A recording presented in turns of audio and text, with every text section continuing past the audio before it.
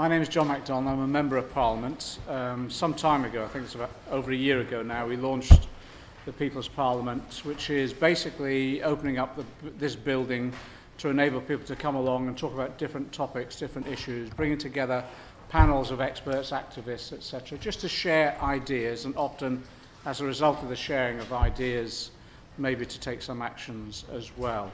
Um, this People's Parliament discussion is on land ownership, who owns our country. Our first speaker, just to set the scene, is Kevin Cahill. Kevin, people will know Kevin. He's the author of the, let me read the text blurb here, Kevin, can I? He's the author of the groundbreaking book on land ownership, Who Owns Britain and also Who Owns the World, parliamentary researcher and associate editor of the Sunday Times Rich List, investigative reporter with the Sunday Times Insight Team on, on offshore tax dodgers, is publisher of the second Doomsday book of the United Kingdom. He's also a supercomputer specialist for Computer Weekly and wrote Trade Wars, an account of CIA spying in the UK and in the 1980s. So quite an eclectic range of interests there. start with a question. How many people here live in a freehold or own a freehold and think it's ownership? You should read the legislation. You are a, the holder of a piece of paper that was invented in medieval times, and that's the government statement. Freehold isn't ownership, it's a sort of peculiar lease. And that's the first. Now, the second question would be how many people here actually know who owns the ground we stand on in this country? It's. Yeah. Okay. For those who haven't, the, the owner of the physical land, there's one ultimate, the word in the legislation is ultimate. There's one ultimate owner of all the physical land, and that's the Queen in the country. So your freehold lease is in some peculiar way a lease from the Crown. Yeah, I know a lot of people don't know that one. Now, the, the Third, I'll tell you a tiny story. When I was a child, I lived in a small Tipperary village, and people find it very hard to visualize land. And one day, this sort of farmer came into the pub. Children could go in pubs in those days, and said to my father, you know, well, I've just, just come in, Mick, and I've been on the bike all day, and I still haven't come to the end of my land. My father said, yeah, we got a bike like that too.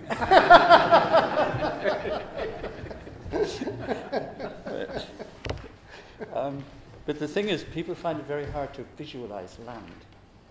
I mean, how, how many people here know how big the United Kingdom is? The United Kingdom is about 60 million acres. And an acre is very, very roughly, depending on how you're measuring it, roughly the size of a football pitch. So our country is about 60 million football pitches. But now I'm going to move to, I feel if you want to talk about land, you should have some basic facts. And uh, Fiona's done a beautiful little map here. If everybody could, you do need this, it, will be quite important. Because in terms of land use, I'll start with use before I come to ownership. In terms of land use, this country can be divided really simply into three. The first bit is urban, you know, houses, bricks and mortar, and that includes factories and offices. And that is less than 10% of the island is covered in bricks and mortar. And I happen to think it's well less than 10%. But the accurate figures are not available from the government agencies who are paid millions to produce accurate figures, and they don't. None of them. You cannot get figures that reconcile as to how much you should be able to call the Environment Agency, and they should be able to tell you 2 million acres are covered by houses, 3 million are covered by factories, a million are covered by roads. They will give you none of those figures. And they're paid millions to produce them, and they don't. Anyway, the urban one is the big surprise, because that means that 90% of the country is something else. And about 20%, the figures are approximations, I'm sorry about that, but about 20% of the country is um, mountains, bogs, moors, roads. But 70% plus is agriculture. 70% of the United Kingdom is fields with cows and things in them. So there are the three key bits. Now, the next thing is who owns the bits? Well, the largest number of people own or have freeholds in the smallest bit. There are, rather than talk about the number of people, the easy way to see it is how many houses are there? There's about 26 million, and about 17 to 18 million are private. And the other, the other, the 35% is split roughly into council housing, private rented, and um, housing associations. The big numbers are actually fairly simple, and they're not that, they're complicated to get because the government will not provide them. But anyway, so the, go to the big bit, the green bit on the map. There are about, there's a little bit under 300,000 farms on that patch. And it's about 30 million acres. Now, the number of people who own that is less than 150,000 out of our population of 62 million. So the big concentration of acres and ownership is in the agricultural sector. The big concentration of large numbers of people and very small ownership is in the urban area. So that's how it splits out. Um, one of the things I wanted to suggest is people tend to believe what they're told rather than what they see. Um, we, the, the, the, most overpopulated part of the United Kingdom is supposed to be around here. No, outside the city, but not, but you know, Surrey. You know, everybody's living on top of each other. Well, if you catch a train from Gatwick to Heathrow, you will hardly see a town you pass, the train passes predominantly through fields with cows in them, you know, little woods, commons, and all sorts of things. We have been sold the idea that we're, you know, crowded and there's no room and so on. And curiously, the people who sell us that idea are the people who own the green patch. now, isn't that very odd? That they should tell us, you know, there's no land. And um, one of the organizations that promotes this idea is the Council for the Protection of Rural England. This is known as the hijack of a very good idea by crooks. The Council for the Protection of Rural England, about four years ago, produced an article, and they said if we went on developing uh, housing at the rate we were doing it, the whole of England would be covered by concrete by uh, 2035. They were only wrong by 2,300 years. the, f- the figure for the development of housing was about 14,000 acres a year. And all they had, but the media, and here's, I'm criticizing my colleagues, the media just repeated. They never checked the figure against the size of England. And you would find, as I say, the Council for Protection of Rural England were 2,300 years wide. And of course, uh, concretize, you know, concreting is not going to happen like that anyway. We're tending to go up. But in the United Kingdom, one of the consequences of this is that homes in the United Kingdom are the smallest in Europe. Most of us are living in what virtually amounts to shoeboxes, and we don't need to. Um, what everybody in the UK, somebody did a survey, and you do, why do they waste money? What everybody wants is a sea view, a patch of garden, and a detached house. Ouch. Now that would really put pressure on. Uh, that would take 28 million acres of the 30 million. But that's what, what people would like. But what you would like isn't what you can have necessarily. You know, there are constraints. But the key thing is the people who are telling us that we're living on a crowded island are the people who own the, the bit, in which the crowding is about one person per 40 acres. Once you look at how many people there are in the green bit, zip, you're down to one, per, one person for 10 acres. If you switch to the urban area, you've got uh, 10 homes per acre. So it's about 20 people per acre. The, the figure changes around. Now, if you didn't, so there's the map, and I hope we'll stick, we'll use that right through. Now I want to talk about one other thing. How many people here know about the Domesday Book? Could I? Okay, some people will know this is slightly. There were two. There wasn't one. There were two. The first one is the one you probably know about, and the publishers who reprint it periodically tell you it's a unique book and it's this, that, and the other thing. Well, the first book like it was found in 2030 BC in Memphis, and it once wasn't Memphis, Tennessee either. The first domesday, the, the one of 1086, is very similar to, sim- to other documents like it that all the despots of the ancient world uh, used. They all had lists of their properties, what they could tax and all that sort of thing. So Domesday 1, and it's not a kind of primitive land registry. The references to who owned land are tangential, because who owned land was the king, uh, William the Conqueror, and the people who held land.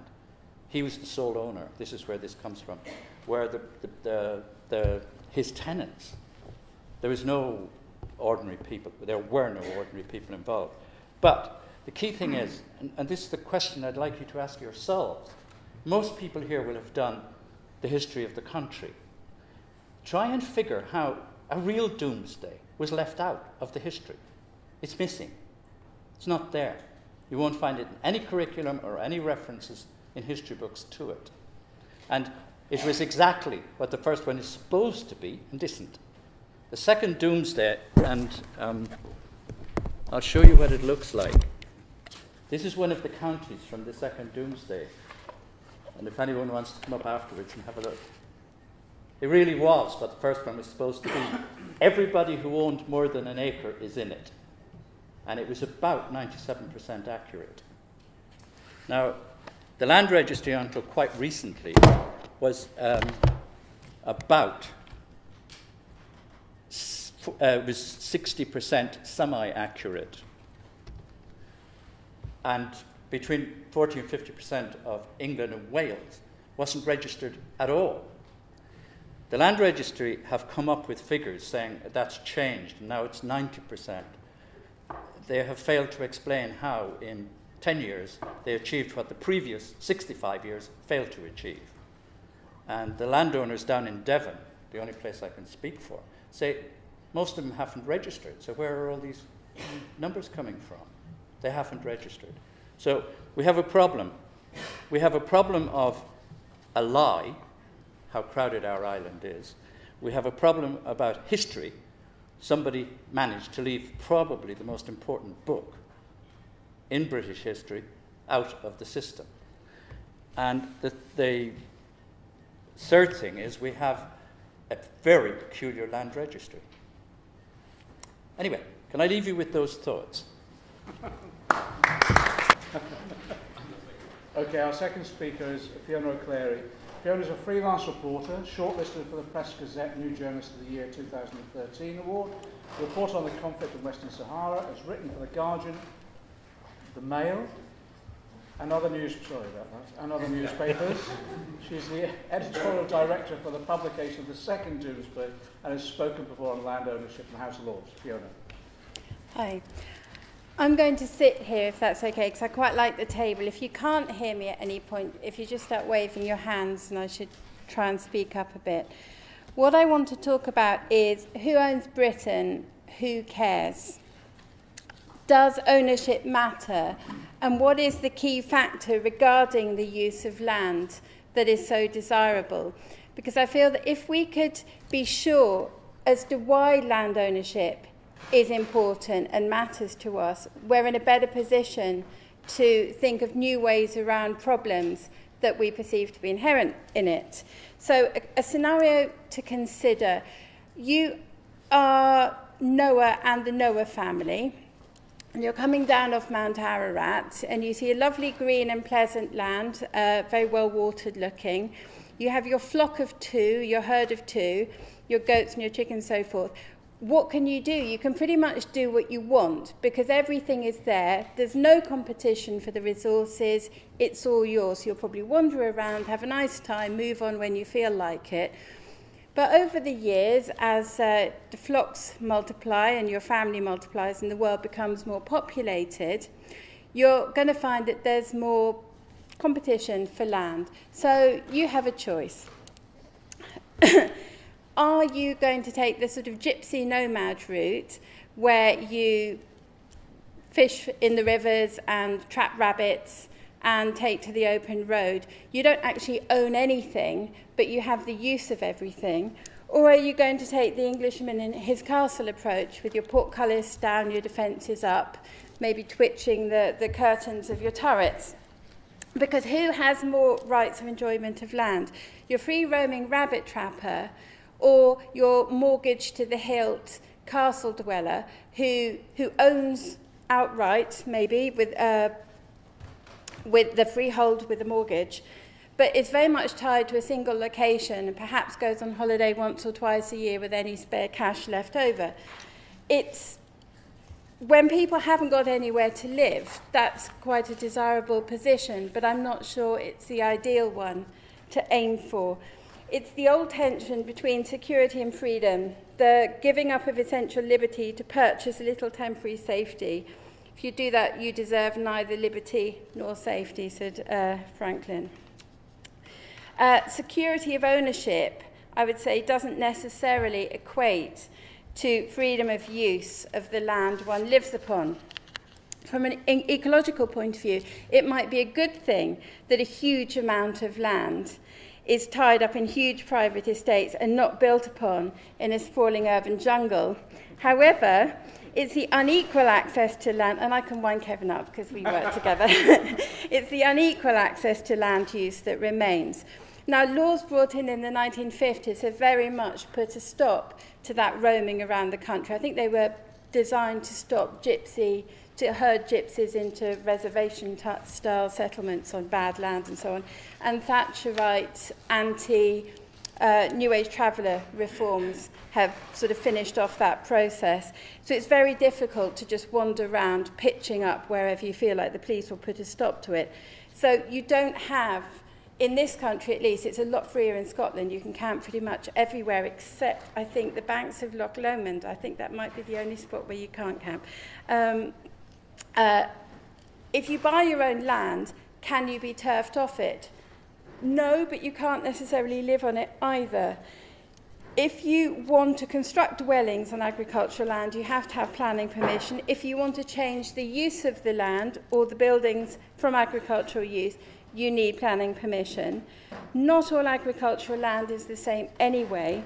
The agricultural land classification has five grades uh, which grades uh, 1 to 5 desirability of the land from the point of view of producing crops. I think 21% is grades 1 and 2, which is your, your good farming land for crops and food crops, pharmaceutical crops and so on.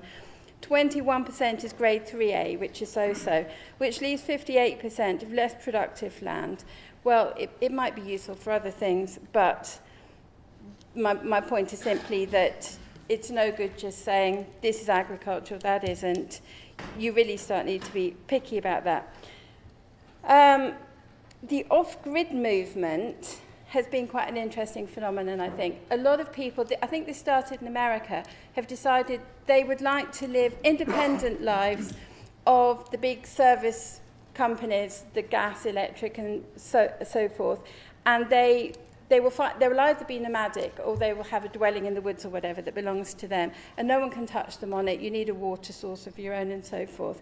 I think it's one of those libertarian things that has managed to link the far right and the far left, and has brought about a bit of a paradox, uh, the broadband paradox, whereby you, you have your mobile home with a solar panel on the roof so that you can run your laptop uh, and run your online business from it while not actually being dependent on big oil companies. I have, I, I see the attraction of it, but I'm not entirely sure that it really deals with the root problems of, of ownership, corporate ownership and empowerment of grassroots movements. So all this is leading towards, in my mind, a move away from freedom through ownership of land to freedom through access to the use of land. So, what if all of the benefits of land ownership, security of tenure, freedom from interference, could be delivered in a responsible, community centric way, sort of like a kibbutz with more privacy? What does freedom of land use actually mean? Financial security isn't implicit in home ownership anyway. The rate of repossessions uh, should show this, although they've dropped slightly in the past couple of years. Still roughly a quarter of a million repossession claims made every year. The Lib Dems have come up with that new initiative about renting for 30 years and then being able to, to take ownership of the house uh, that you've been renting. I think this is probably it sounds like a very good thing if it can be made to work. I would question how much flexibility it gives people. How easy is it going to be to sell that house and still retain the. I don't know how they're going to handle the equity side of things, but it, it's a nice idea. Um, yeah, a lot of being said about property rental and ownership models on the continent, with more people renting as the norm.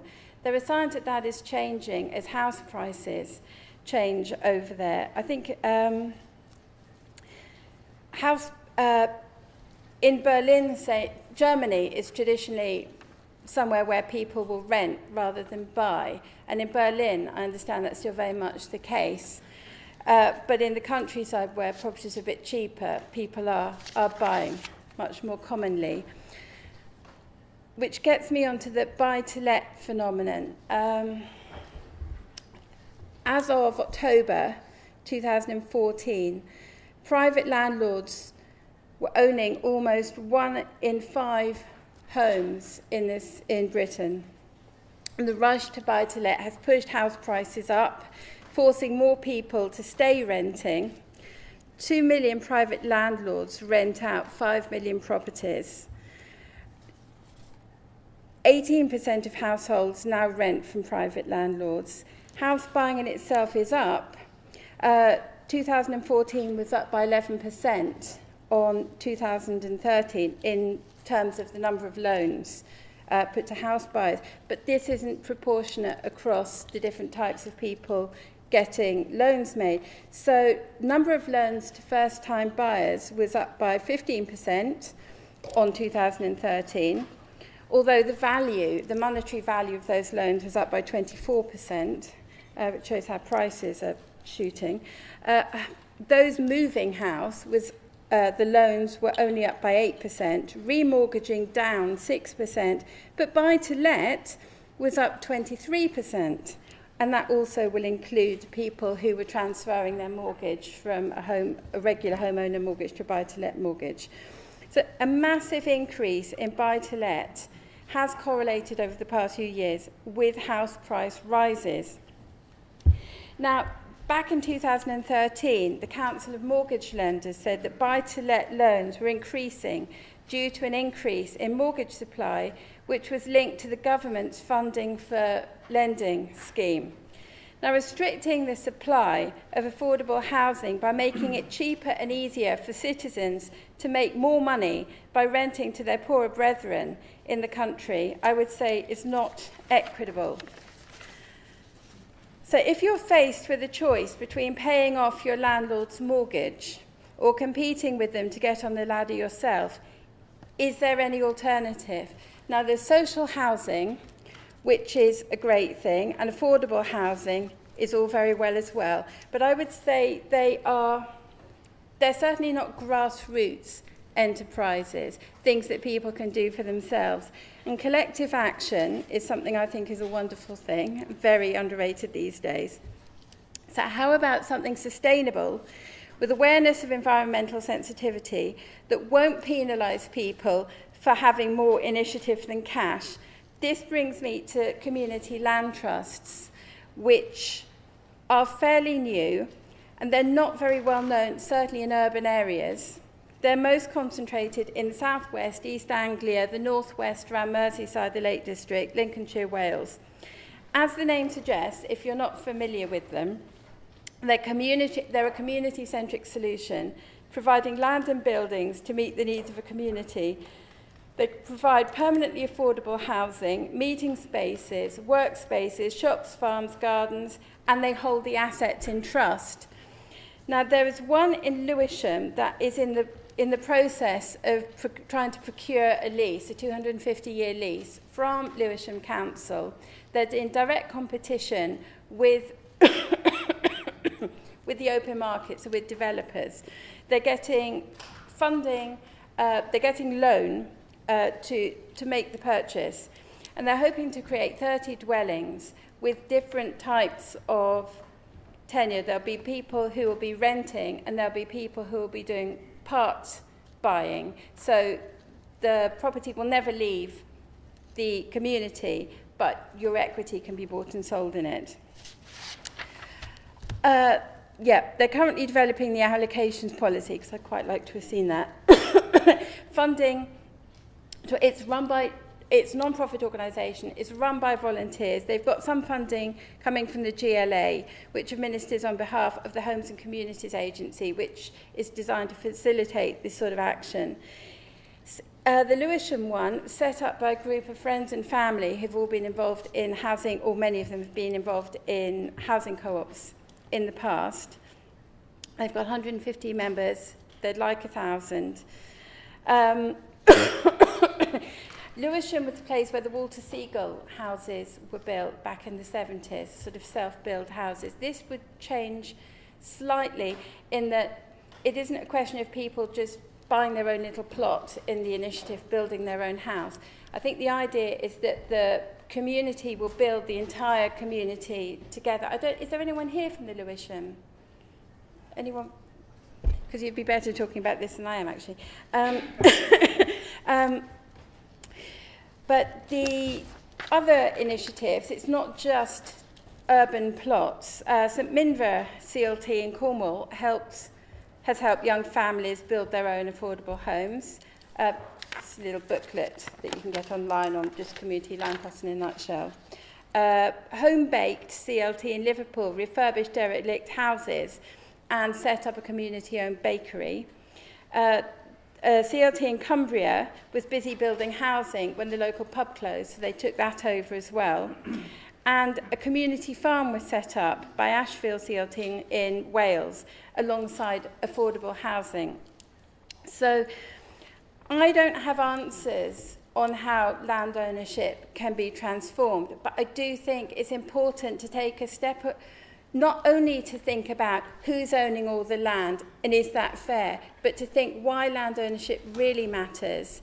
Is it the ownership we specifically want, or is it access to secure access to, to homes and housing that can be obtained in some other way by thinking a little more laterally?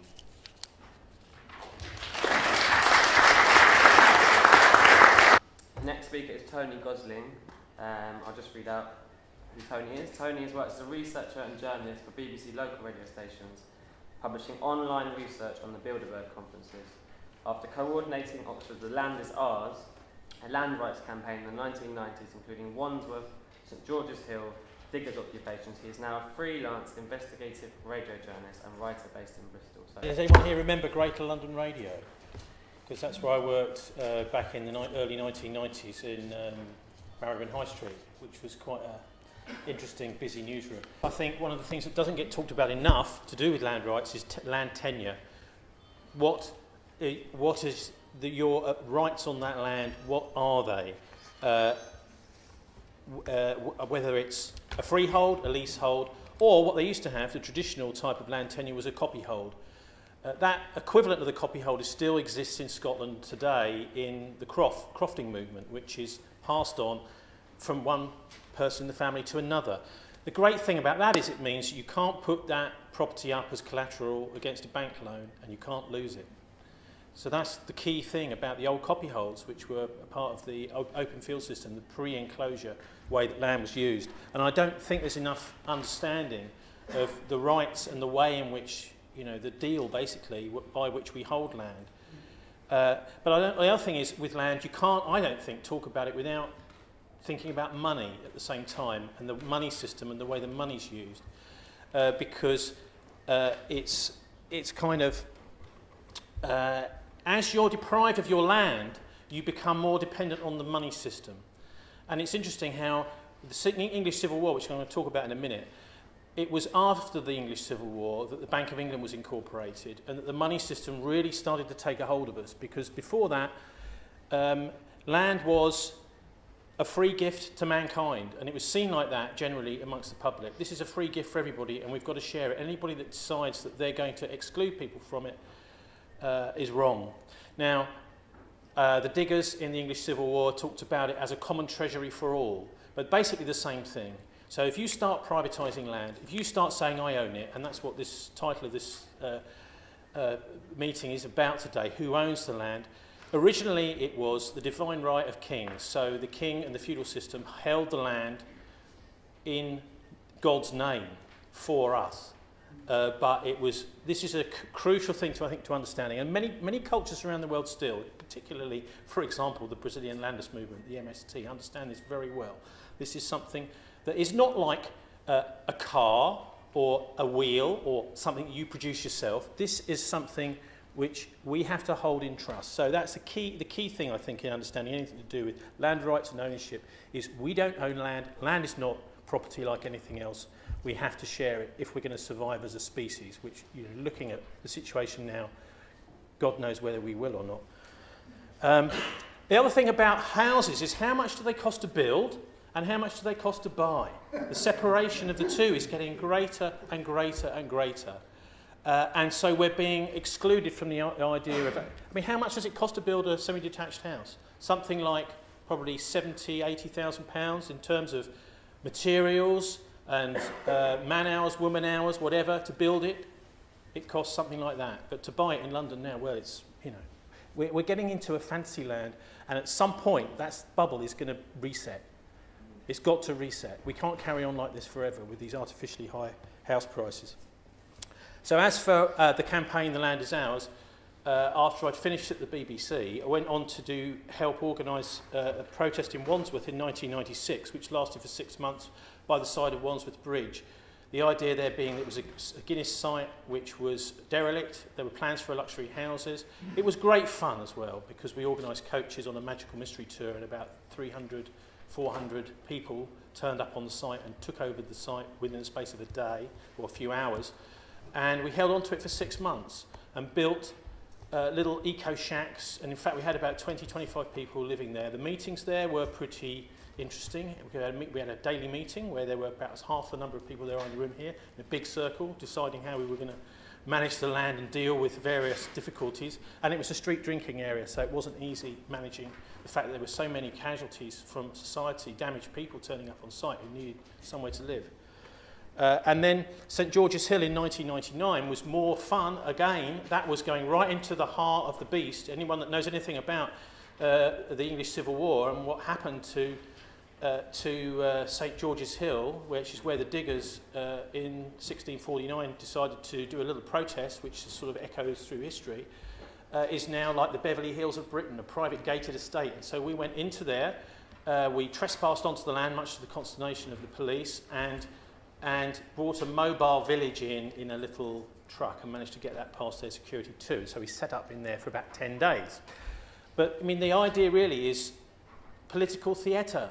Let's do things which actually have a resonance and draw people in to discuss the issues and have a bit of fun at the same time. Maybe you know, doing something which is a little bit of civil disobedience. Actually, the local cops after the, when, were almost sorry to see us go because it was a, an excuse to engage, sit around the fire, chat about stuff. And we added a bit of life to St George's Hill. There were even people living up there who were coming to us and saying, thank God you're here.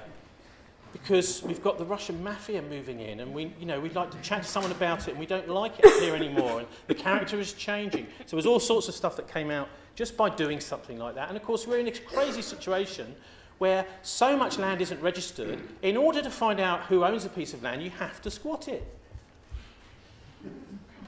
Once you squat it, you get court papers and you find out who owns it.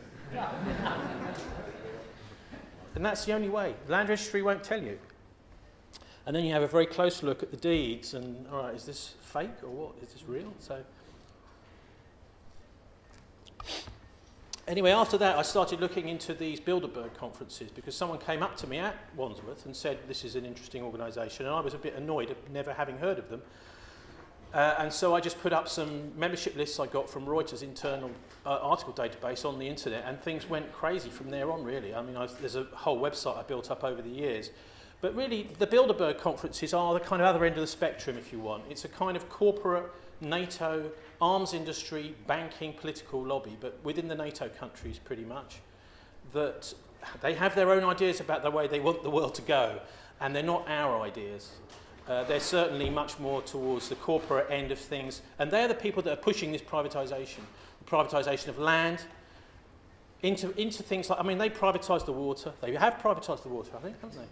Uh, as much as they can, they want us to pay for those basic things that we need in life. And that is totally against my principles.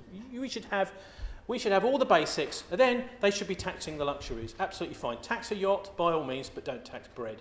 Don't tax the land. These are basic, fundamental principles of any decent human being, in my, in my view. Uh, and I think also with the, uh, with the uh, Bilderbergs, um, it's well worth looking into these people because the organisation was chaired for the first 20 years, from the mid-50s to the mid-70s, by Prince Bernhard of the Netherlands, who was a former SS officer. Uh, they are supposedly uh, representing us uh, and they're representing the United States and all these countries and yet there you've got this guy who slipped off his SS uniform and he's chairing the meeting. I mean, he, he then married, he married into the Dutch royal family and uh, I would argue that he was one of the traitors uh, with the Arnhem campaign back in 1944, the disastrous uh, attempt to liberate Holland. He sent in a guy who was supposed to be helping us to liaise with the Dutch resistance, and it turned out to be, a, a, he went straight to the Abwehr. He turned out to be a, a Nazi agent. So, but Bernhard, a bit of a dodgy character. And then also, and then also uh, Lord Carrington, who was also involved in the Arnhem battle. He then also later went, later went on to chair the Bilderberg conferences. So, I mean, I do take this quite dualistic point of view. You know, there's us and then there's them.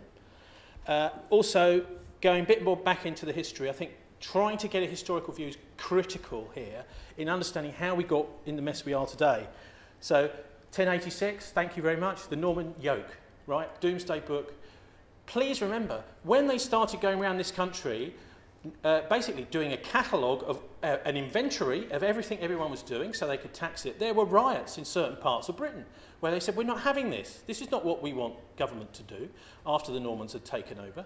And there was a, a, immense efforts to stop them compiling this domesday Book uh, as well in different parts of Britain.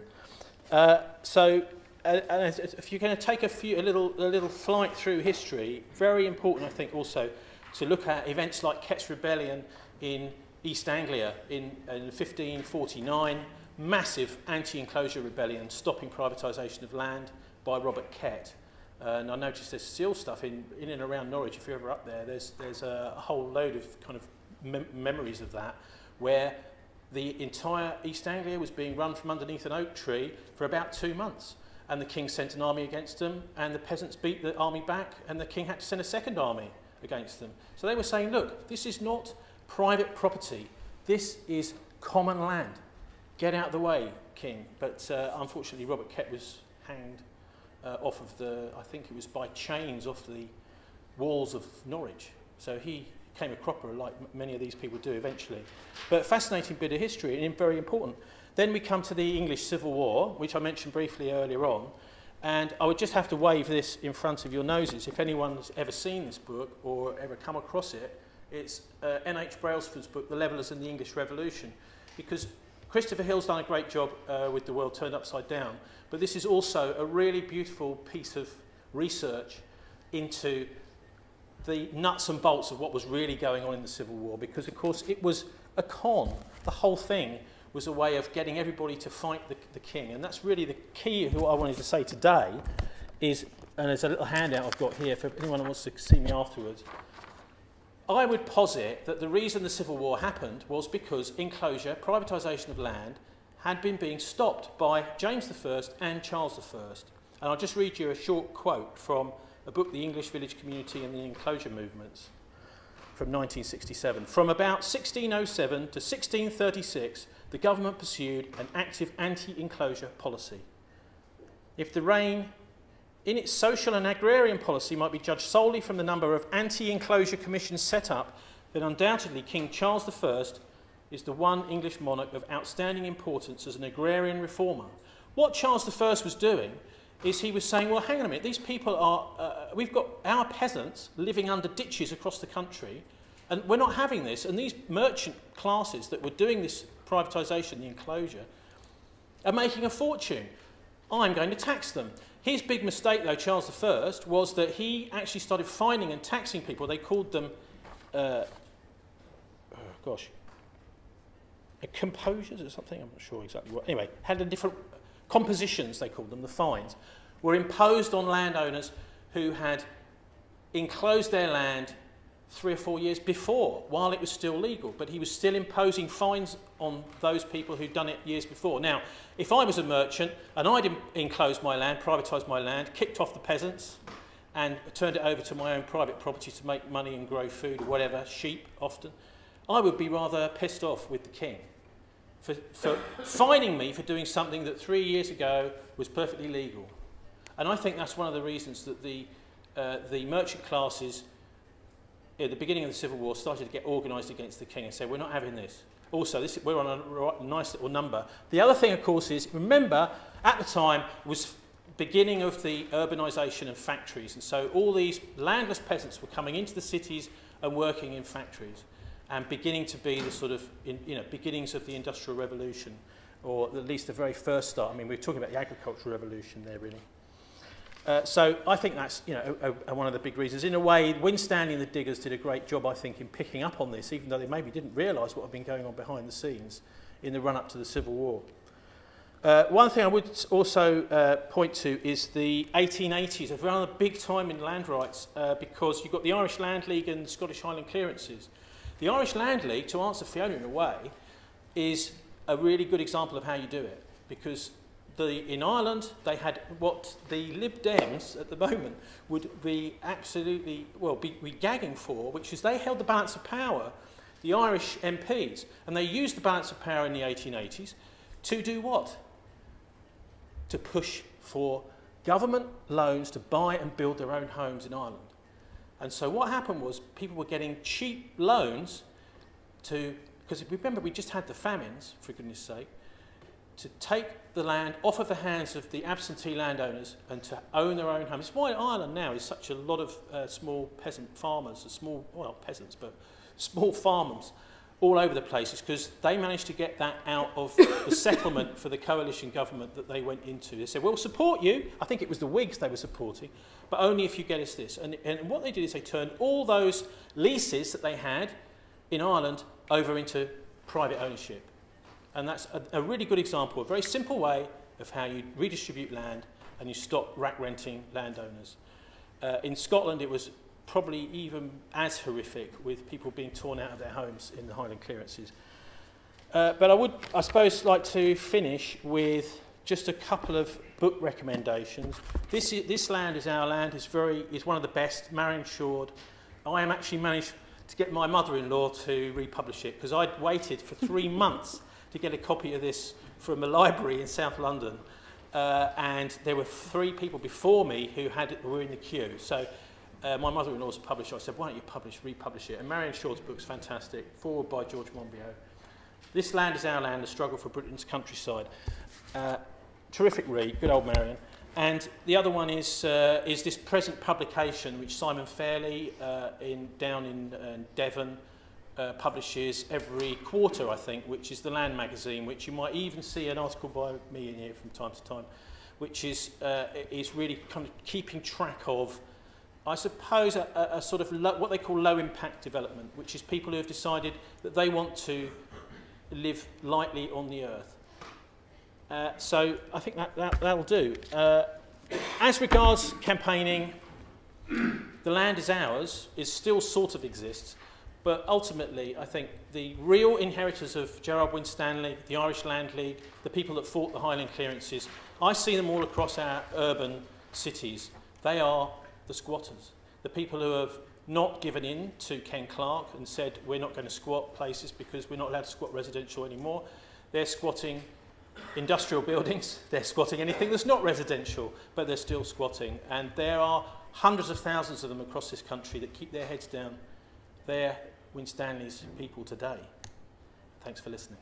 I'm going to introduce our fourth and final speaker, who's Yoni Higgsmith. I hope I said that right. Um, Yoni is Communications Director of the Labour Land Campaign, a cross-Labour movement campaign to promote land reform policy and theory.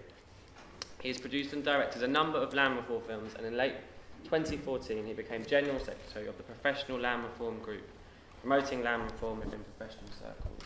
So we've got a couple of questions. You know, what is land is the most important one to start with. So about a year ago, we were contacted by a group called earthsharing.org. They're an American uh, based outfit, but they have uh, contacts around the world. And they wanted us to create a film that asked questions about land and ownership um, to Londoners, because London's obviously a lot of issues with land and ownership right here. So we found a group of 11 different Londoners um, from different diverse backgrounds, ages, and we asked them to choose a place that they connected with so we could film them there, and we created a montage film. So uh, I think the highlights included being in the back of a London cab, you know, interviewing the cabbie, which often happens, and uh, driving around Buckingham Palace areas, and he was just talking about what he felt. Uh, we also interviewed people in their homes and in gardens and, and uh, the skates park at the South Bank. Um, some of the responses about what is land from them are land is the ground not in sea. This was an eight-year-old. Um, I think he, he, got the, he got the gist. Um, his old sister said, well, there is land at the bottom of the sea, but we'll, we'll pass that for now. Um, land is what belongs to us as a people. Land is Mother Nature. Land is the most valuable thing on the planet. Land is everything beneath our feet, and that includes natural resources. So there's a lot of questions there. Um, the Labour Land Campaign, uh, we a cross-Labour movement activist group promoting land reform, we say uh, no human being has made land, uh, and the value of a piece of land derives from such things as natural fertility, mineral deposits, and its position in relation to public utilities, natural harbours, uh, communications, and population. So, just taking a contemporary example, satellites. So, uh, the UK is the world market leader in uh, microsatellites through the University of Surrey. Um, obviously, the satellites are made by humanity, uh, and they're used for observation and communications. But who owns the view that they observe, and who owns the radio spectrum that they communicate through?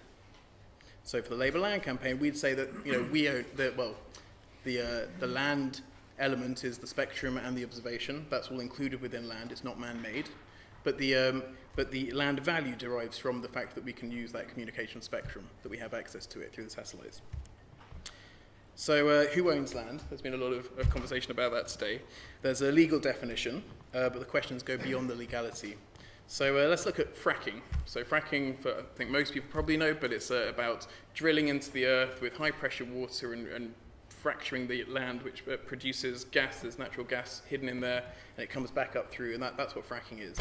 So, um, who here, uh, let's imagine that you've got an, a load of gas found under your home. Uh, put up your hand if you think you get to keep the gas. no? Okay. Um, well, that's good. Since 1998, you wouldn't. Before then, you actually would have done that with the Section 2 of the Petroleum Act, which says the Crown gets to keep your gas. But there are wider questions about, you know, do you have the right to say if an energy company can drill under your home? You know, do you get some compensation because you've got a home there? Um, do you get cheaper energy prices? You know, so these kind of questions, they're a bit more complicated, and there are, there are different arguments about whether or not fracking is good in the first place. But these questions about who owns the rights to what's happening around your home, if you own your home, that's important. So um, I'm going to talk about land value, because that's what the Labour Land Campaign is all about. Um, there, are four, there are lots of things that makes land value fluctuate. I'm going to, going to talk about four of them because of limited time. Um, the four I'm going to talk about are population, speculation, location, and resources. So population, the more people we have, the more competition there is. Um, actually learned most of this from David Triggs, who's sitting right here, so I thank you for this. but um, but uh, there, we ha now have 300,000 more people in the UK each year, um, and we have about 100,000, that includes births and people moving around and that kind of thing. Um, in London, we have 100,000 more people coming here every year from the, from the country and from, from outside the country. So you can imagine that that's puts a massive strain on what we actually have available here. House prices here are massive compared to the rest of the country. Um, generally in the world, they're massive. I don't know of any other countries that have 100,000, cities that have 100,000 more people arriving every year. And that's something we have to account for. It's policies we don't have in place at the moment. Uh, speculation. Land banking holds land out of use. Um, in itself, doing that will actually raise the value of land because there's, it creates scarcity. Um, but, but it's beyond that. People speculate because they believe later on it will be worth more money and they can do better than, than let's, say, let's say you've got an empty home uh, and you don't want to pay the maintenance cost of someone actually living in that home. You know, because someone lives in your home, you have to then pay for you know things that go wrong in the house, all that kind of stuff. If you just leave it pristine, you're holding it out of use. But as the land goes up in value, you can speculate, you can earn more money. So this is a tremendous problem for us now. We have 610,000 uh, empty homes in England. This is of October 2014, and 200,000 of these have been empty for longer than six months. So these aren't people just, you know, well, they're in the middle. This is, this is a real problem we're facing. Uh, we need to build 300,000 homes a year to catch up with the housing deficit created by selling off all of the homes during the Help to Buy sort of schemes, um, and also that we haven't built enough social housing. Um, so, uh, so obviously we, we've got a problem with that, and we need to think about how to halt speculation, stop it generally. So location and access to location as well. I want you to consider that there was an amazing city. It's got incredible organic food that's right, grown right next to you. It's got the best transport system you can imagine. There's personal chauffeurs who drive gasless cars. You know, the, the only emission is water. It's just amazing. You know, you, you can take it further yourself, but just imagine this amazing city. Uh, but because of some imaginative natural disaster, the only way to get to that city is by swimming for two hours underneath a sort of underground tunnel that only fits one person with very limited air and you can't take any of your belongings with you. How much would you pay rent there? You know, and that's the point. It is all about location. Sometimes you will pay to live not necessarily right by the hub of things you want to live by, you'll live further out, but it's got a great cross-rail link. So suddenly, that's a more valuable place to live. Okay, finally, uh, we're going to look at resources, which are both natural and humanity created. If you're in agriculture, you've got to ask questions like, how fertile is my land? Um, uh, is there a river nearby? Uh, are we landlocked? You know, can we actually sell the produce we make? How does that work? Um, with residential, we ask, is there nearby transport links, as mentioned before? Um, are there schools for the kids and are there hospitals?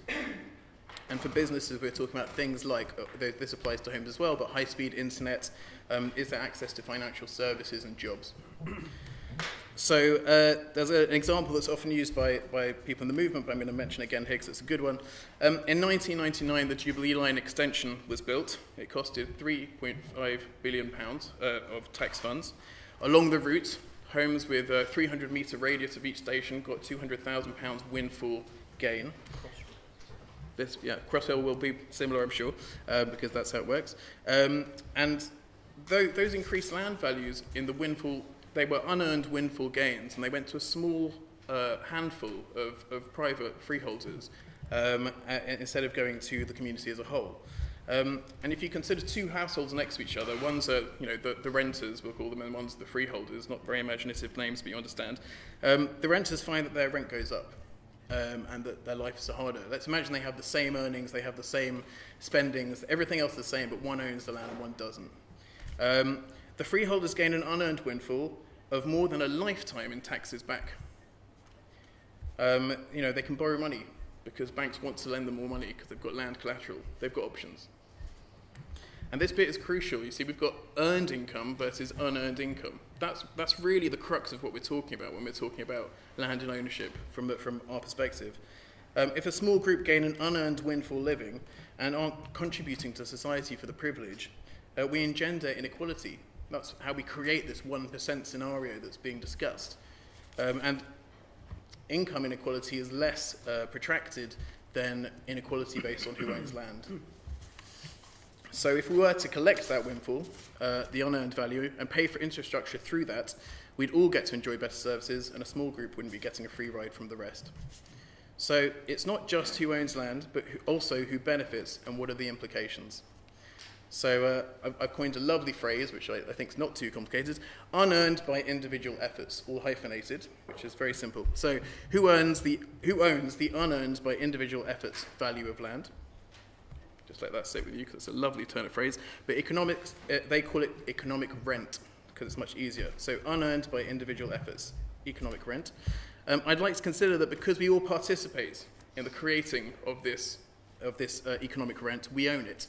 And that what we should be doing is nationalising it in the form of leasing it annually. That, that's, that's the crux of what land value tax is. Uh, it's a tax on unearned income. Uh, ideally, it will replace taxes on earned income as well, because these will help create a better economy for everyone. Um, and uh, the more money it raises, the more money we can move over, and we call that tax shift. So we want to take uh, taxes away from earned and move on to unearned. Um, so uh, I don't have, with I've got about a minute left, so uh, I can't go into depth about how brilliant land value tax is, uh, but just to check if I'm on the same page as other people in the room, uh, put up your hand if you would like a tax that promotes better uses of land for the whole community. Great. Uh, would you like a tax that regulates, uh, regulates and makes more affordable house prices? Good, okay. And uh, encourages tax shift away from earnings, so we can all have a bit more earnings. Okay, pretty much. Okay, good. If you want to learn about how land value tax does that, you can go to our website, labourlandcampaign.org.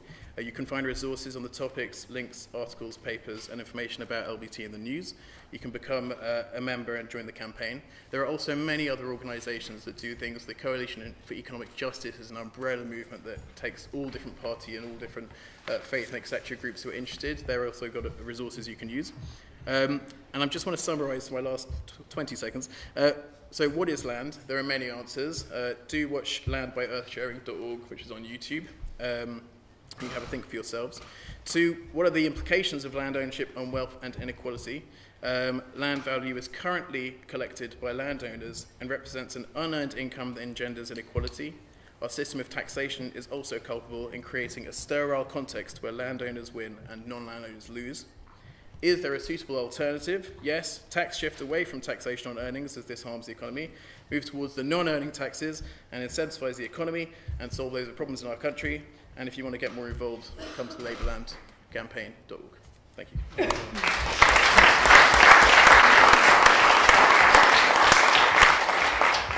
Great. That was terrific. Shall we throw it open to comments, questions? I think it's the question about what you're trying to solve. So if we're trying to protect, why are we trying to protect the green belt? What's the benefit? So one of the arguments is often about housing. We've got to build into the green belts because we, we've got to create urban sprawl because there's just nowhere else left to build in the whole of London. That's the answer.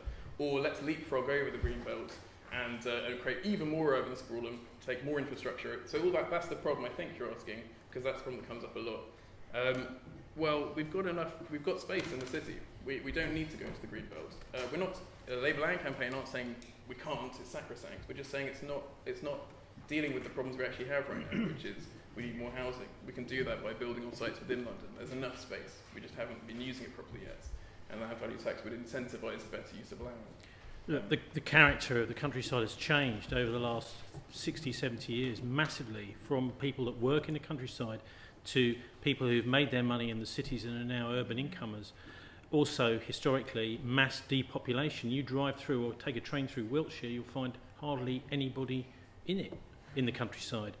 I think this is where Simon Fairlie and the low impact development people come in. They, they want to repopulate the countryside mm. in a way which is not going to damage the countryside. It's not going to be uh, putting urban style dwellings back in the countryside. It's about reconnecting people with the land because we're, our cities are dying. They were created for an industrial nation that doesn't exist anymore. Thank you very much. David Triggs, I'm the chairman of the Henry George Foundation, which is an educational charity devoted to this very topic, essentially. Um, I'd like, if I may, to try and draw a few threads yeah, together, which I've picked up from this, and really starting with um, what, what, what we heard with regard to who owns the land. Um, the Crown owns the land, which means our nation owns the land. And the original concept was that those others that held the land owed a duty to the king in respect of the protection that the king provided to the landholders. And the essence of what these days is called land value tax which I believe is actually a completely inaccurate name. because in fact it's not a tax. It is a reflection of the feudal dues that were always due. It's a location fee would reflect the protection upon which the value of land absolutely depends. Without security of tenure, no land will have any value whatsoever. As we see throughout the world today, with the breakdown of law and order and the protection that that provides, no location would have any value whatsoever. So the key service that the community and the government renders that those that hold the land is protection. And that protection is very, very costly. The whole of the infrastructure, the whole of the defence system, the whole of the law and order system requires to be paid for, and it can be paid for out of what I'm terming a location fee. Hmm. And if I may take a moment to explain why so-called land value tax is not a tax. By definition, and one of the post-war Labour Chancellor, uh, Dalton, uh, am I is it Dalton? Yeah, Dalton, identified a tax very clearly in his book, The Principles of Political Economy, in which he identified a tax which is a compulsory payment on people irrespective of the benefit that they receive. Our current systems of taxation, taxing people for working, taxing people for using their capital, taxing people for spending, tax taxing people for selling, all are totally unrelated to the benefits that the taxpayers relieve, receive. The concept of location fee would collect that uh, value of location, the value of the land, mind, not the value of the buildings. It's the value of the land or the location that is really critical. And if I may take a moment to explain why we talk in terms of location fee rather than even a land rent. And this is because of the sight people have lost, or the, the loss of sight that has taken place in the urban situation.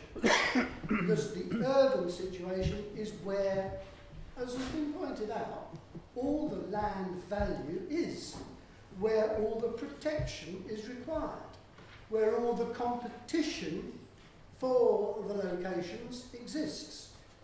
And as has been pointed out, this location value is a value that is created entirely by the presence protections, permissions, and services that the community as a whole provides. The location value is not due to anything that the current holder of the land does, mm. Or any of his predecessors have done. It's created by the whole community. It is thus due to the whole community. And if it is not collected and is allowed to be go into the pockets of individual landholders, we get the problems that we've got today, largely on account of being privatised, and we're not now talking about privatising the land, I'm talking about privatising location value. When it's privatised, it now becomes collateral. It now becomes an object that you want now to store. And so land acquires a capital value as distinct from a rental value purely because it's privatised. Being privatised, an individual can buy and sell this claim to the land. As a consequence of that, it acquires a capital value which is an estimate of perpetual future rental streams coming in. Hmm. Now, the idea of collecting location value as a community resource, as public revenue, is that it doesn't accumulate at all. It doesn't accumulate in any individual pocket, so it's not something to speculate in. It's not something that's worth owning, but it's certainly worth renting.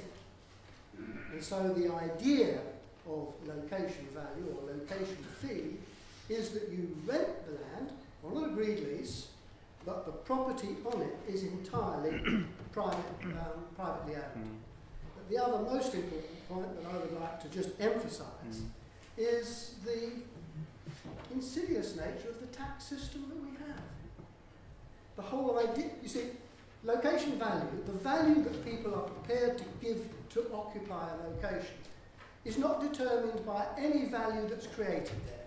Homes illustrate that. It's created by what people are prepared to bid against each other to have exclusive possession of it, exclusive protected possession of it. But what they can afford to bid is their after tax earnings, apart from the very wealthy. So the whole concept of the taxes that we currently have reduces what people can bid to use the land. And as such, if you were to remove income tax, VAT, corporation tax, and other taxes on labour and capital and enterprise, reduce those, then the, the funds available to fund the land become much, much greater. But of course, what also enters into this then is the government's responsibility for managing the land, how the land may be used. Here we come to matters such as the green belt, such as what land is going to be made available for housing, what available, made available for manufacture, what for farming, and if we really want a viable farming industry, then again we decide this is what this land is to be used for, what am I bid? Now if you, you've decided that you want the land to be used in such and such a way, and you're not bid anything positively, and you still want to use it, then you have a negative bid, mm. which of course amounts to a negative location fee. But if you want really to manage the estate of the UK, UK that's the sort of tack and integrated service or management system that you need to introduce. You've got to take into account not only public revenue implications and the needs of the community, housing, farming and the rest, but also uh, how the land is, is, to, is to be used. So integrating the whole thing. The planning system as it stands at the moment imposes winners and losers. The introduction of a location fee would eliminate that because the winners, so-called winners of a planning dispute, would incur a higher location fee. The so-called losers would incur a lower location fee. And lo and behold, the community as a whole now, the planning authority, can decide what gives us the net best location fee as a consequence of this decision. There's one slight problem with yes, your proposal. How do you fancy paying £14,000 a year for your house in tax? That's what the land fee turns out as. And there's another thing you forget it's called democracy. 65% of the families in this country have voted, a very expensive vote, to buy their homes. This shift that David is talking about would penalise 65% of everybody living in the country at the moment. If everybody in this room in the country read the first three chapters of that book, yeah. we live in a totally different world. you, will, you will get bogged down after about the first three or four chapters. Put it back on a shelf, nobody's going to give you any grief. But if you get the chance to read the first three chapters of that book, it will change your life. I've um, I perform a show called Three Acres and a Cow, a history of land rights and protesting, focused on the story. And basically is the first three chapters of that book, but broken up with focus on some stories to make it a bit more manageable. And I've spent the last two years touring around the country telling people about land value tax and about all of the history that brings us to the present. because you can't understand the present mm. unless you understand the past. So looking at the past is really a good place to start. I'm not sure I'm able to weigh in on the land value tax argument, I think it's a really important one to have. Another really important one to have is subsidies. We're living in a culture at the moment where there's a lot of demonising people who receive things from the state that aren't perceived to be fair. But I can't help but notice if you, James named something from benefit to a subsidy, and you give it to rich people instead of wealthy people, that seems to be okay. Now, 1.5 billion pounds a year is given in public money to large landowners through the Common Agricultural Policy. That's a big number. Let's think about that number. That's the same amount that the legal aid tax bill is. That's a tenth of our higher education spending. And at the moment, we give that, asking nothing in return to the wealthiest landowners in this country. So I don't want to get too bogged down in land value tax. I think we all owe it to ourselves to go away and research and make our own opinions on that. But actually looking at the fact that landowners are incentivized to hold land and we get nothing back for that public money is important. And then another thing to look at is why are so many people from all over the world coming here and buying land? And it's important to know that a lot of countries, it's illegal to land bank. In a lot of the Arab countries, it's against their religion for somebody to just buy a patch of land and sit on it waiting yeah. to get some windfall. In Singapore, the land has to be owned by the government to have a change of planning use. So if it's turned into residential, that windfall of the value of the land being changed goes into the public purse. So I really recommend that we need history lessons. I really recommend it's great to look around the world and see why it is that so much money is pouring into this country and depriving us of access to land and access to affordable housing. And um, I really look forward to hearing what else everybody else has to say. Great. Heather? Uh, first of all, on the thing about uh, that, that, that Kevin's just said about 65% of people own their home I dispute that totally because there's a whole group of people that are not included in statistics. And when you talk about getting information about land ownership, also try and get information about the value of land and about who occupies the land. And it's very, very difficult. We have a growing number of young adults who live at home, not just in their 20s but into their 30s because they cannot afford to rent or buy. They're not a statistic in anything. We have multi-generation houses where you've got three, four generations living together. In my home, you've got three generations. My daughter's not a statistic, my grandson who's 18 is not a statistic, and my granddaughter who's 16, when she leaves 18, she won't be a statistic. So there's a whole mass of people who do not have ownership of a home or buying. And I've done some figures, and I think over 40% of the population are tenants, are living at home, are um, people who are lodgers, couldn't think of it, homeless people. So it's way over 40% of people are not homeowners. Those people pay their taxes equally, and those people equally generate land value. And the thing that on the land value taxes, there's a terrible injustice against people who are not homeowners, who are not landowners. Um, that's the first point. Talking about, um, when we talk about prices of homes in London being unaffordable, if you can't afford a home, if you're living in London or if you're living in Ilfracombe or you're living in, in Inverness, if you can't afford a home, you can't afford a home.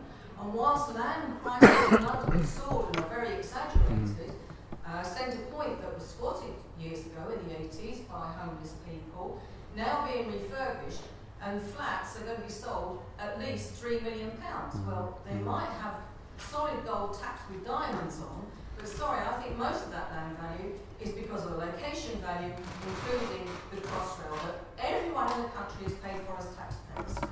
So um, when we talk about unaffordable, remember unaffordable means unaffordable for everybody wherever they are. People on low wages can't afford to rent. Second homes have pushed up prices in, in villages, etc. And subsidies, um, I'm glad somebody raised about subsidies because some of the biggest subsidies go to landowners. I wrote this booklet, Welfare for the Rich. Mm. Who mm. really receives the biggest subsidies in the UK? I was sick of hearing about Benefit Street and these scroungers sucking the you know the life out of out of our society in terms of the subsidies they get. Well, look at the subsidies that are paid out under CAP. You won't find the landowners that receive it because most of it those landowners are not named when you go onto the, mm-hmm. onto the uh, website of the Common Market who receives the subsidies. Serco gets it. I didn't know there were farms, but there we go. They get huge subsidies, something over a million a year. But another huge subsidy is the nine billion a year that go as housing benefit, which ends up in private mm. private landlords.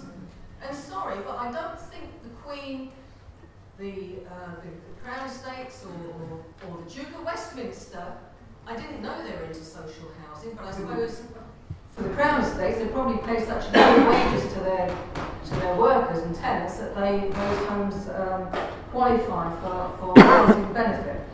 But the but the, but the subsidies that go to the the biggest subsidies actually go to landowners direct subsidies and indirect. And as the economy grows, this, the landowner will always say, whether it's to business or to, to homes, I'll take more of that growth that you lot have created, and I sit here, I do nothing, but I'll take it as mine. So it's the land value. I mean, I certainly don't agree with the private ownership of land, but that's a political debate that's not like to win. You know, imagine the Daily Mail and look in your back garden. But certainly land value is a worthwhile debate and we should be discussing it. Thank you. Okay. Shall we go on?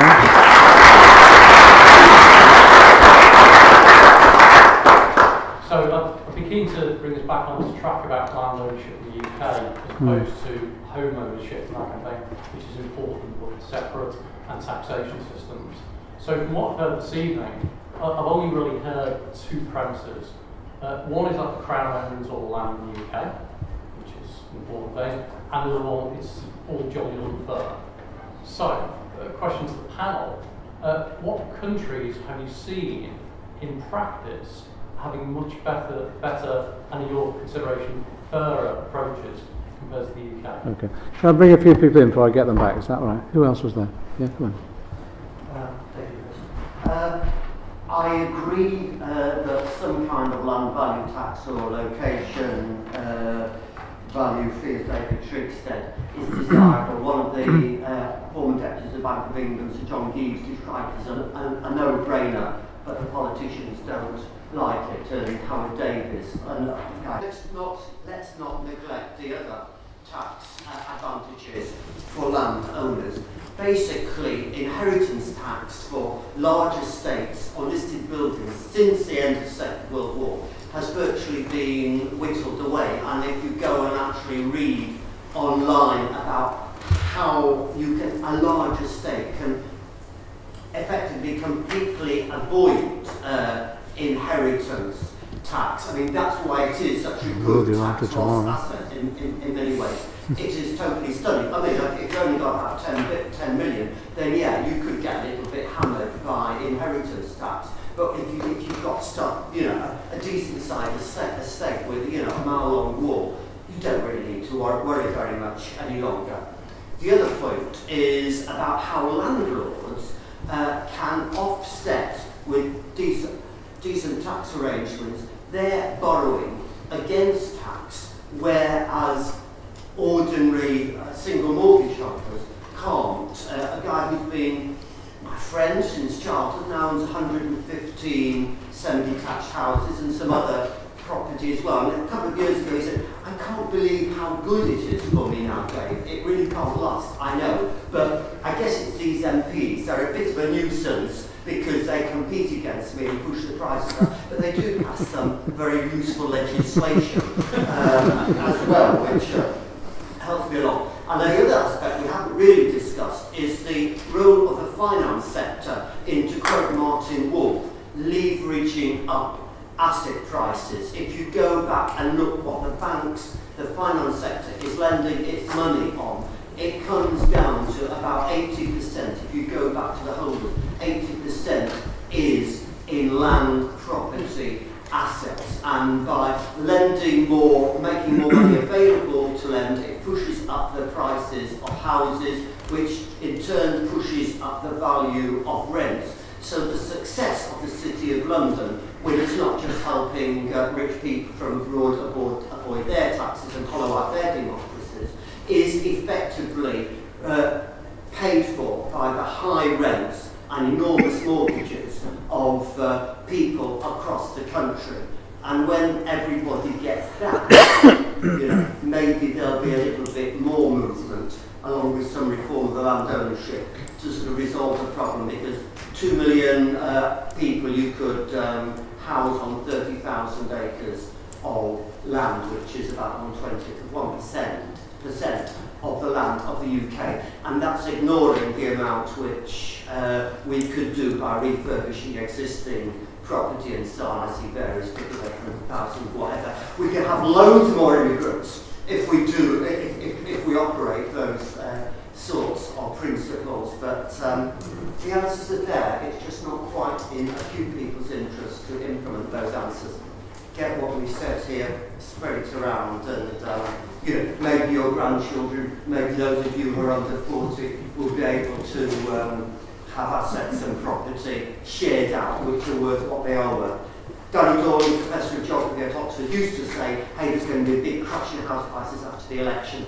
As it is, given Osborne's uh, allowing you to put your pension funds on, on being yet another buy-to-let person, probably a lot of people my age are going to lose their pensions a few years down below mm. when the uh, crash is put off for a few years. But, you know, just a bit of investment advice for you guys. say something, because you mentioned conquest there. I think it's so important to understand I mean, for example, the, the, the, one of the big changes in Britain was during the Civil War. The army got very, very involved in discussing these sorts of things, uh, the Putney debates and things like that.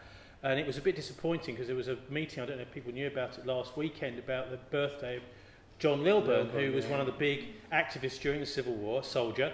Uh, and I was quite surprised to see that there weren't uh, people like Veterans for Peace invited to speak at that, who have a very deep understanding, actually, of history, some of them, and, um, and how the army is used to con- conquer mm. right this minute, you know, in other parts of the world, places like Afghanistan, Syria, wherever. Uh, the idea being to get their hands on that property. Mm, honest John. Why private home ownership? There's nothing kind of magic about it. In the world we live in, it's the most secure form of tenure. 17.7 million people have decided that they prefer that. If you go back to history, most people won't know. Most people think the Irish potato famine, people died of bad potatoes. They didn't. Of the million odd who died, about 600,000 perished because they had no hmm. shelter. They had no roof over their head. And there's no big principle thing about this. In the world we live in, the most secure form of getting a roof over your head is to buy house with a mortgage. That's the simple answer there. You know, and all the theoretical stuff has to navigate around the fact that there are 17.7 million people who've made that choice, rightly or wrongly. I think they've made it rightly, as it happens. My grandmother persuaded us the famine was serious. Um, the, the majority of people in the Irish famine died because the landlords threw them out on the side of the road. they didn't have, they starved as well. But the Irish winter is what killed them. You, if you have no roof over your head, the Irish winter is very cruel. And there's no issue of principle. It's just a pragmatic choice. But if you're going to change everything, you have to address that, and that's what land value tax doesn't do. Kevin, do you want to address this question about other countries? Um, countries, the con- okay, uh, take two. The country with heading for the highest level of home ownership, private home ownership, was America. And of course, the crash has done terrible damage to that. But the crash in Ireland, up to the year 2000, the number of repossessions in Ireland, again, a legacy of bad land, uh, uh, you know, a shadow of bad landlords, the number of repossessions in 1999 was about six. Now it's tens of thousands. So there are risks attached, but the, the bulk of people who bought or buy their own home have a form of security in our system that you certainly don't have if you're renting. You have to change the system. The other country, the, Spain tried our system. They went on a, a private home buying uh, binge and they ran into big problems. But the countries that were stable, uh, for instance, our own, the United Kingdom, or, uh, and Ireland, the, there are terrible tragedies in Ireland, the repossessions and everything, but the bulk of the homes are not affected. In other words, the largest number of people are not affected, but a small number of people are terribly badly affected. They're being thrown out on the side of the street. Well, one thing I would say is about Russia. Um, the Russian Revolution um, was a bit of a disaster in land reform, but with, under Khrushchev, I think it was, they had a dacha system, a formal dacha system, where they offered, um, I think it's one hectare of land to everybody in the cities out in the country. The idea being it would be a bit like France, where people would kind of go to their country house in the middle of the summer, because it's not the summer isn't all that long in Russia. Uh, and the other thing, of course, Uh, and that's still there today. I mean, if you ever go to Russia, I went for the first time ever last summer, and they have these kind of big collections of small holdings with these all these dachas where people, some of them will spend their, most of their lives out in the dacha, and others will just go there in the middle of the summer. But that was a gift to Rus- the Russian people from the government back in those days. The other thing is, unlike Britain, where the Queen owns all the land, Putin doesn't own all the land. If you own your land, you own it. It's one of the very few countries where, you know, private ownership is constitutional, is Russia. And interestingly, Russia has divided land ownership in exactly the way the United States has. It's an identical model. In the United States, the government, as a private landowner, holds a third of the country. It's, you know, government, federal government. in Russia, it's about 48%, the, the Russian government. But the rest is private. The great forests in Siberia and everything, they're all private. And half the food eaten in Russia is grown on dachas. so when they had a total financial disaster in 1990, it wasn't anywhere near as disastrous as it would be because you've got so many people growing their own food. Fiona, do you want to comment? Yeah, if if if home ownership is the secure option compared to renting, then surely that says that renting needs to be changed, and that can be done politically. It doesn't have to be a market-driven phenomenon. That that is really what I would like to see change. I would like to see what happened. There, there used to be secure tenancies. They've gone out the window. You could help with that. That would make a difference. If you had really good rental setup, people wouldn't be so desperate to buy their own bricks and mortar. They wouldn't need to. They'd have all the flexibility of renting. They could follow the work as they wanted, and they'd have the security of knowing they weren't going to be turfed out on their ear by people who wanted to bump the, the rent up in six months' time. In terms of other countries, I suppose I'm a little bit fixated, and I might get beyond this at some point, on the idea that land use is and access to using land is, is more important or could be more important than owning it. Personally, I don't actually care whether the Queen owns the land I live on or not because it makes absolutely no difference. Um, what would make a difference would be if if someone told me actually they owned the freehold and that made a difference to me. The Queen is so unlikely to come and do something that you, you might, it may have, it may affect how we all think constitutionally, and I'm not saying that I'm a monarchist or a Republican or whatever, I don't really want to go down that argument, but I don't think it affects me. What does affect me is what I can do if I'm walking across someone else's land. If you're in Scandinavia, I don't know if this is true of all Scandinavian countries, no, it certainly has been in Sweden, and they may have changed it now, but I know I certainly used to be able to pitch your tent in anyone's front garden. You know, it's polite to, to let them know you're there. But it's civilized. You're not, you're not making a land grab. I know that it's not a huge, a huge uh, population, but it's, um, it's a fairly hostile environment, I suppose, as well, for much of the year. So maybe the entire population isn't going to go and sort of set up a, a teepee in, in front gardens. But the fact that you can go and do that, you can move around and you can sort of take your home with you for maybe a month or two at a time. I just can't see that happening in this country. And I don't think it's very civilised that we all have to tie ourselves in to incredibly uh, restrictive modes of living just to have some kind of sense of security. So I'm, I'm not convinced that ownership is going to be the solution because to me it's more of the same problem. But I realise that that doesn't address any of the issues around taxation, which are very interesting to me. But I think I'm perhaps being so fundamental in my thought that I'm not getting into the subtleties of of what other people are talking about. But I do think ownership isn't the heart of the problem. Mm. Yoni. Um, yeah, I'd echo that. Ownership isn't the problem, it's about what happens because of that ownership and how we get cut out of certain things and how money is totally reliant on the land economy, and that, that causes the inequality problem, which isn't exactly what we're here to talk about, but it is something that's uh, dear to all of our hearts. Um, I, I want to say a quick thing about the, the tax thing that was mentioned. I was going to mention it earlier, but I thought I'd, I'd, leave off. If, um, if we stopped collecting taxes in the country, there'd be loads of money in the economy and land value would go up because um, Winston Churchill said uh, it's not the only monopoly, but land is the mother of all monopolies. You know, all the money always ends up in, in land value. Now, to the question of you know this this uh, house being suddenly worth you know even twenty thousand pounds or whatever. Um, Land value sorry, if uh, land value what costs Yeah, that's what it would cost a year if you impose land value on now. each in each home owner. Yeah. I disagree with that. Uh, not based on the figures we have, but um, okay. Um, so if we, um, but we, we look at the uh, basically there's about 200 billion roughly uh, land value available right now in, in the country. Um, that uh, wouldn't account for entire budget, which is something like five. We, we spend 700 billion and we raise 500 billion and we've got the deficit.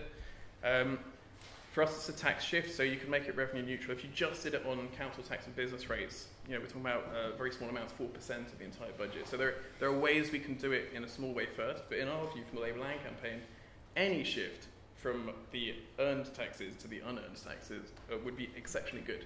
Bec- And so anywhere we promote any of these changes, so if you want to replace council tax, great. If you want to get rid of stamp duty, great. You want to get rid of TV licenses, awesome. All these things are good ideas because they are regressive and they don't help our country grow.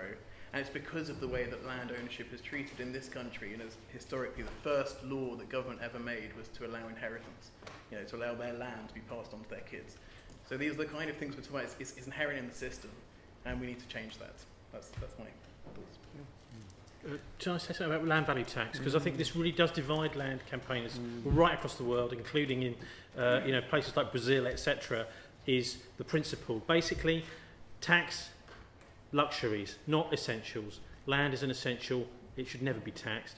Secondly, uh, you look at places like Hong Kong. What's happened in places like Hong Kong, where there has been, or at least parts of Hong Kong, uh, where there's been land value taxes, incredible density uh, housing, where you're talking about people living in like little chicken boxes, tiny little um, blocks in these massive high density buildings, because the uh, pressure is on the landowners to pack people in. The other thing is it gives people a pressure to develop. You may have a field, you might want to leave it for pasture for three or four years, but you can't. You've got to pay your land tax. I just think it, it's buying into this whole money system. The money should be there for the luxuries of life, not for the basic essentials. And obviously, everyone needs money in some way, but we should be looking after people's basic essentials. And I think that's true freedom.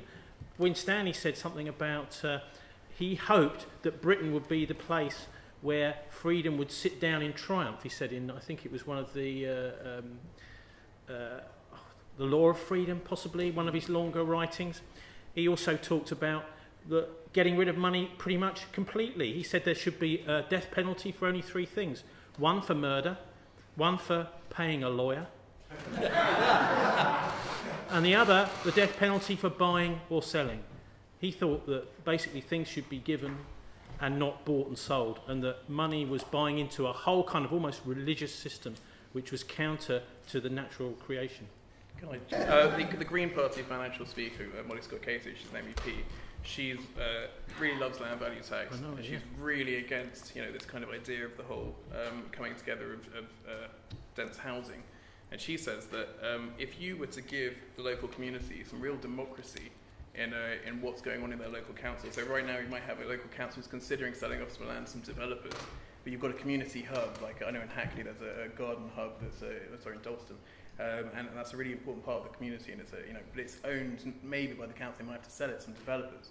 Now, if the community can turn around and say, you know what, we know this is going to make our local taxes cheaper in some way, our land value taxes. We know, we know that if we got the developers in, we'd have a bit more money coming in, so our taxes inherently would change. But we actually love our community hub, and we don't want them to come in here. So that's, that's the direct way that um, bringing democracy and people together to try and actually decide planning permissions for the local community can totally stop this kind of thing you're talking about, about the dense housing. Um, and, and I think that's just really important to consider here. We're not, a lot of the places where land value tax has been tried that you're mentioning, that, you might, that people might mention, it hasn't been tried by totally getting rid of all the other bad taxes. It's not been, it's not been tried in total isolation with, with really what we're talking about. They've got whole loads of other problems going on, and, and we're trying to create a, a situation where we slowly move things over and we try and make a change. The That's, trouble, my the trouble with any tax is who is spending it, yeah, and is it being spent on the right things? Is that land value tax just going to go to defence spending? Well, that's what democracy is about, hopefully. I mean, Dave, That's what I, I knew you'd be prompted, Dave. Go on. Hmm. Well, I'm certainly uh, prompted by uh, what uh, Kevin has said about uh, every house paying £14,000 land value tax. One, the whole purpose of the land value tax is it measures the land value. So therefore, a house in Hampstead or Kensington would not pay the same as a house in the Outer Hebrides or a house in a village in uh, Cornwall. And if we were to collect £14,000 for every house in this country, Kevin's already said there's about 26 million houses, that would collect £364 billion. How much of the land of this country is actually housing land? It's 2%, according to our government. And uh, the other 98% would also contribute an awful lot, places like Oxford Street, uh, the middle of Cambridge, um, sites that are being held out of use in London that pay nothing in taxation today. And of course, with the land value tax bringing more land into productive use, that means more jobs. It means more competition for employees. It means higher wages. It means that we would have fewer people dependent upon the uh, unemployment pay and other social benefits that our taxes are used for. So I would imagine that in a society with a land value tax, we would have much lower government expenditure. Half of our government expenditure today goes either on welfare expenditure or paying uh, dividends to uh, people that have uh, loaned money to the government as regards to government debt. If we had a land value tax, we could have afford a citizen's land dividend whereby that would meet your problem about how the government spends the money. If we all shared in the ownership of the land and we all had a land dividend, we ourselves would decide on that element. The Labour Land campaign, together with uh, Tony Benn in 1985, put forward a private members bill um, for the common ownership of land. And we said the income from the land rent should be ways. One third to improve public services. One third to reduce the bad taxes that uh, uh, stop production and create unemployment. And one third to be redistributed as a land dividend. And the reason we said that in 1985 was because we saw British Gas, British Airways, profitable nationalised industries being privatised by the Thatcher government pretty slick about it. Middle class were rushing to the post office to buy their SIG shares. But nobody said, well, actually, we're losing. And what we imagined was, by sharing the land dividend, if a Tory government comes along and says, oh, we want to give the land value back to the Duke of Westminster, and people say, well, we're going to lose two or three thousand pounds a year, no thank you, we're not going to vote for that. Do you know where you can look to see such an example? Alaska. In Alaska, they have a permanent oil fund. It's the revenue that arises from the natural resource, the oil in their land. And it's distributed, a proportion of it is distributed every year to every family. Some years it's as low as $800 a person, other years it's as high as $8,000 a person. And it's in statute that that exists. And now, three times, politicians have tried to overthrow it because they don't want the people to have the land dividend, uh, the oil dividend. They want to decide how they'll spend it, whether it be on armaments or other things that hopefully none of us in this room will support. And three times, because it has to be agreed at a referendum, three times the people of Alaska, in their wisdom, have thrown it out and said, we'll keep the dividend. I go around places, uh, internationally and in this country, talking about land and uh, particularly uh, collecting the rental value of land. I'm president of the International Union for Land Value Tax, and if you want to become a free member, take one of my leaflets and join us. If you want to buy Heather's booklet, Welfare for the Rich, it's only two quid, and you're welcome. Uh, the original title was going to be Who Subsidises Who? Because it is the poor subsidising the rich. But when I go to schools, I try and explain what economic rent is. It's interesting because most uh, economic teachers in schools or colleges or universities don't bother about economic rent. And that shows in the economic advice that is given to our governments by economists like uh, Mr. Balls and others. But I tell them a little story, and uh, it's based on uh, the uh, um, Robinson Crusoe town, Uh, and with apologies to Daniel Defoe.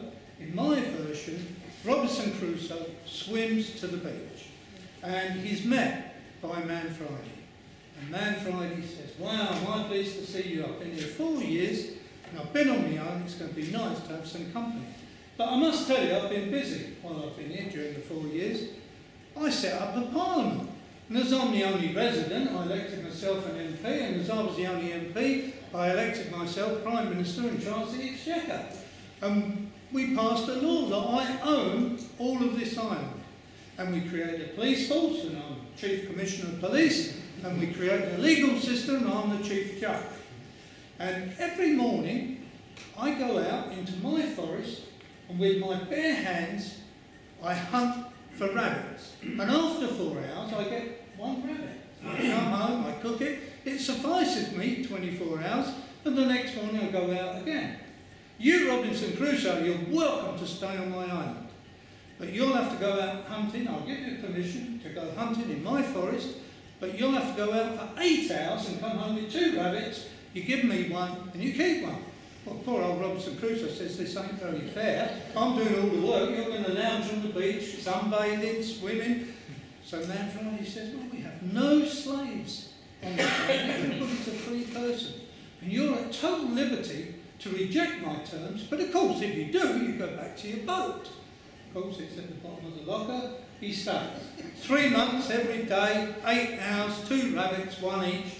The end of three months, he thinks he's cooking his rabbit on the fire. He thinks, I can do better than this.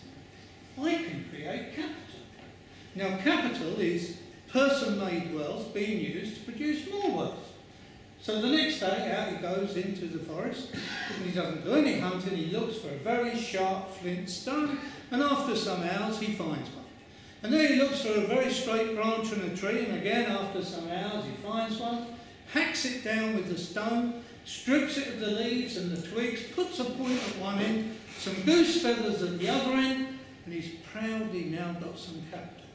The next morning, out he goes into the forest with his spear.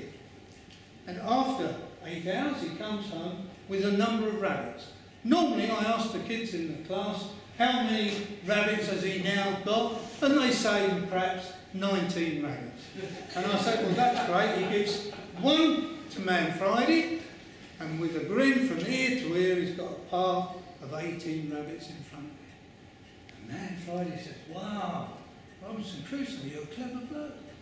I've been here four years and three months. I never thought of creating capital. But I've got some bad news for you.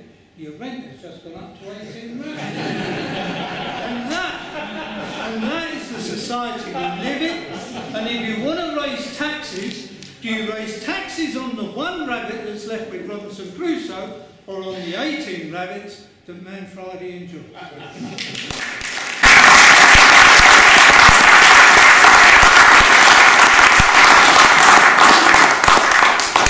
Did you want to come in?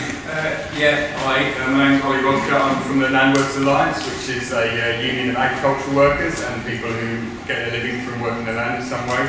So um, I just want to bring us a slightly different perspective because interesting though a lot of this is, I guess I I don't have a position on land value tax uh, myself, or Landworkers' Alliance doesn't. So I just want to speak about a couple of things. If you don't, if you haven't really decided um, about that. Um, we have got a, a, a, campaign about subsidies, about reducing or changing the way subsidies work in this country. Um, we've got a demand for a national food policy that will deal with uh, a lot of the mixed issues that uh, resolve around agriculture and access to land. Um, we produced a uh, document last year called Feeding the Future, which is available on our website, Landworkers' Alliance. Um, please have a look at it, it's got some policy demands. Um, one of the things is about land and changing the way that we use land. And I think we, probably everyone here recognises there is a housing crisis and a food crisis at the moment in this country. I presume that's why everyone's here. And one of the main reasons for that is the way we use land. The, fact we don't have a decent democratic system around land use and land, whether it's ownership or access or whatever. And I think it's a real shame that there's not a more vibrant and widespread campaign around land reform. Um, possibly listening to this evening, maybe one of the reasons is, is because um, some people who know a lot about this stuff get immediately stuck into a specific area of debate, and that can crowd out a lot of the other issues and solutions that will come if we talk about land, so around housing, around subsidy, around who gets access to what, um, around planning.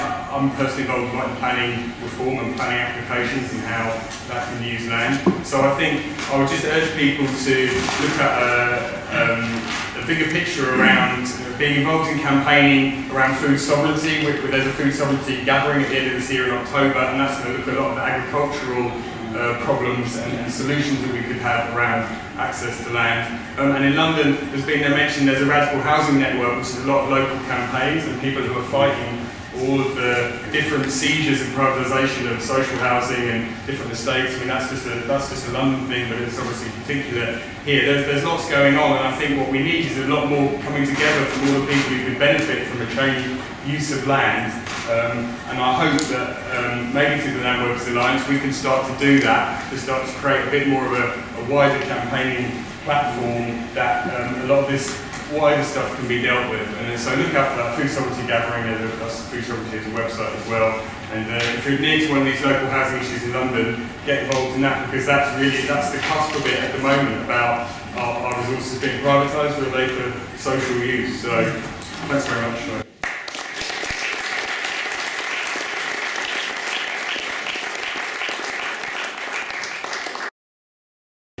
Go and talk to the Croftons about the way that they hold there. It's a very, very different type of security of tenure and a way of thinking about the land which is not about uh, you know, financial value. It's very much enshrining in law what the traditional types of landholding were crofting. So don't go to Scotland without going, spending a bit of time on a croft and getting to know the way they do things, because I think that's our community memory, which in England has been completely forgotten. Uh, the other place to go if you're up in Nottinghamshire is Laxton, uh, which is near Newark, which is, is owned by the Crown Estate. It's the only unenclosed village left.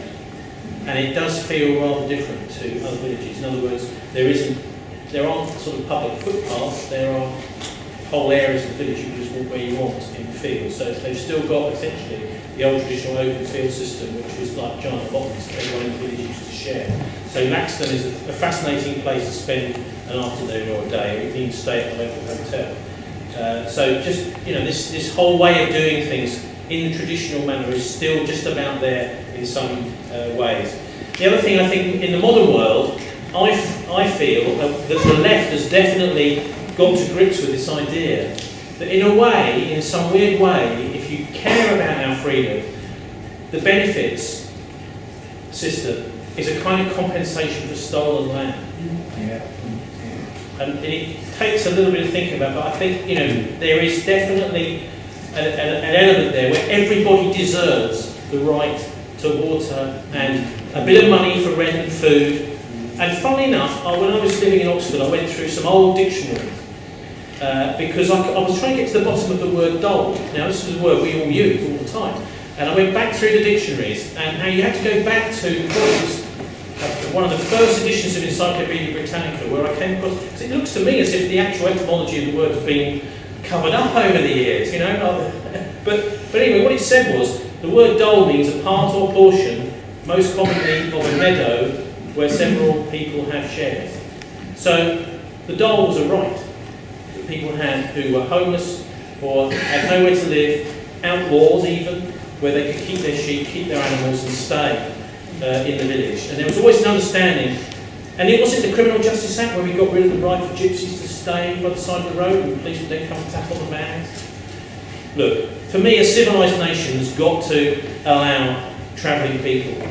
And that's one of the almost unspoken things today we've heard over the last 30, 40 years, slowly but surely, travellers and gypsies have been harassed and harangued off of our roads. You very, very rarely see them anymore. The discussions and the debates, as you said, the, the various groups, the various discussions.